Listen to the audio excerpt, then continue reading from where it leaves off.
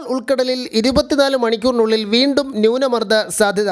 തെക്ക് കിഴക്കൻ ബംഗാൾ ഉൾക്കടലിൽ നിലവിലുള്ള ചക്രവാത ചുഴിയാണ് ഉടൻ ന്യൂനമർദ്ദമായി മാറാൻ പോകുന്നത്. തെക്കൻ കേരളത്തിൽ ഉച്ചയ്ക്ക് ശേഷം തിരുവനന്തപുരം അടക്കമുള്ള ജില്ലകളിൽ ശക്തമായ മഴ പെയ്യുന്നുണ്ട്. അടുത്ത അഞ്ച് ദിവസവും കേരളത്തിൽ ശക്തമായ മഴയ്ക്കാണ് സാധ്യത. ന്യൂനമർദ്ദത്തിന്റെ കൂടുതൽ അപ്ഡേറ്റുകൾ നോക്കാം. ഒപ്പം മുല്ലപ്പെരിയാർ ഡാമിന്റെ ഷട്ടറുകൾ ഉയർത്തിയിരിക്കുന്നു. മുല്ലപ്പെരിയാറിൽ ജലനിരപ്പ് ഉയരുകയാണ്. കൂടുതൽ ഡീറ്റെയിൽ ആയി അറിയാം. ഇത്തരത്തിൽ ഇൻഫോർമേറ്റീവായി വിവരങ്ങൾ അറിയാൻ നിങ്ങൾ ഇതുവരെയും ചാനൽ സബ്സ്ക്രൈബ് ചെയ്തിട്ടില്ലെങ്കിൽ ഇപ്പോൾ തന്നെ സബ്സ്ക്രൈബ് ചെയ്ത് ഓൾ എന്ന ബെൽ ഓപ്ഷൻ കൂടി എനേബിൾ ചെയ്ത് വെക്കുക. കൂടുതൽ ആളുകളിലേക്ക് വിവരങ്ങൾ എത്തിച്ചേരാൻ ആദ്യം ഒന്ന് ലൈക്ക് ചെയ്ത് കാണാൻ ശ്രദ്ധിക്കണം. തെക്ക് കിഴക്കൻ ബംഗാൾ ഉൾക്കടലിൽ നിലവിലുള്ള ചക്രവാത ചുഴി അടുത്ത ഇരുപത്തിനാല് മണിക്കൂറിനുള്ളിൽ ന്യൂനമർദ്ദമായി ശക്തി പ്രാപിക്കാൻ സാധ്യത.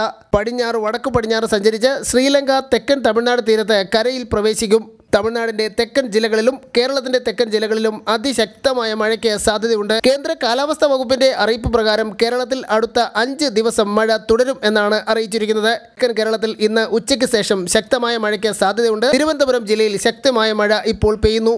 അടുത്ത അഞ്ച് ദിവസത്തെ മഴ സാധ്യത പ്രവചനം അനുസരിച്ച് ഇന്ന് തിരുവനന്തപുരം കൊല്ലം പത്തനംതിട്ട ആലപ്പുഴ കോട്ടയം എറണാകുളം ഇടുക്കി ജില്ലയിലും ഇരുപത്തി അഞ്ച് പതിനൊന്ന് രണ്ടായിരത്തി ഇരുപത്തി ഒന്നിൽ തിരുവനന്തപുരം കൊല്ലം പത്തനംതിട്ട ആലപ്പുഴ കോട്ടയം ഇടുക്കി ജില്ലയിലും നവംബർ ഇരുപത്തിയാറിന് തിരുവനന്തപുരം കൊല്ലം പത്തനംതിട്ട ആലപ്പുഴ കോട്ടയം എറണാകുളം ഇടുക്കി തൃശൂർ പാലക്കാട് ജില്ലകളിലും ശക്തമായ മഴയ്ക്ക് സാധ്യതയുള്ളതിനാൽ യെല്ലോ അലർട്ട് പ്രഖ്യാപിച്ചിരിക്കുന്നു. മുല്ലപ്പെരിയാർ ഡാമിലെ ജലനിരപ്പ് ഉയർന്ന സാഹചര്യത്തിൽ ഇന്ന് നവംബർ ഇരുപത്തിമൂന്നിന് രാവിലെ എട്ട് മണി മുതൽ ഡാമിന്റെ മൂന്നാമത്തെ ഷട്ടർ ഉയർത്തി മുന്നൂറ്റി തൊണ്ണൂറ്റിയേഴ് ക്യൂസെക്സ് ജലം പുറത്തുവിട്ടിരിക്കുന്നു. പെരിയാർ നദിയുടെ ഇരു കരകളിലും താമസിക്കുന്നവർ ജാഗ്രത പാലിക്കണമെന്ന് ഇടുക്കി ജില്ലാ കളക്ടർ അറിയിച്ചിരിക്കുകയാണ്.